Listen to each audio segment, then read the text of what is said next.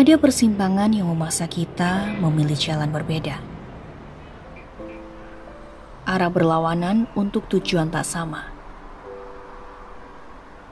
Tentang mimpi dan sejuta perihal yang merenggut waktu. Mungkin untuk sekedar menyapa, halo. Mengulang celetuk dan canda yang semakin buram. Barangkali terlambat, namun lebih baik begitu daripada nihil kawan.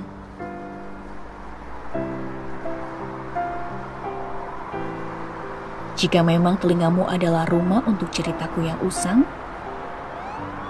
bolehkah aku pulang?